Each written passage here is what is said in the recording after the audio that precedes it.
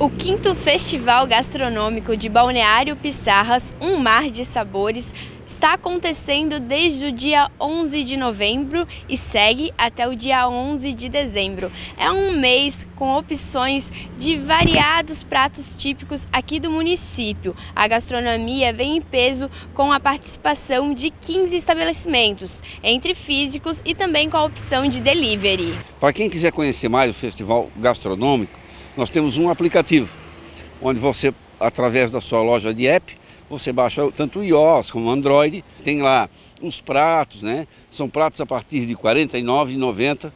É, esse ano nós temos um brinde também, que é uma tábua de frios patrocinada pela Roga. E falando em patrocinadores, não podia deixar de, de agradecer a VSK, construtora, que patrocinou também os ecocopos, que serão servidos os drinks do Festival Gastronômico, e a Arons Mídia, que fez toda a cobertura do, do lançamento do festival, toda a parte de mídia. Os participantes criaram pratos exclusivos para o festival, todos informados com riqueza de detalhes no aplicativo.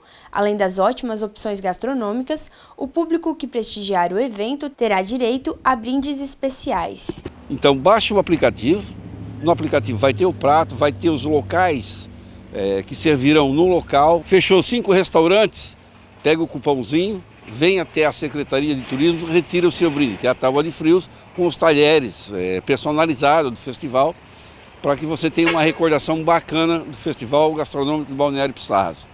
Vale lembrar também que quem visitar as nossas páginas, Natália, vai poder concorrer a ingressos do Beto Carreiro e outros brindes que serão sorteados nas nossas páginas. Então, do dia 11 de novembro a 11 de dezembro, quinto Festival Gastronômico de Balneário Pissarras. Vem para cá que está legal.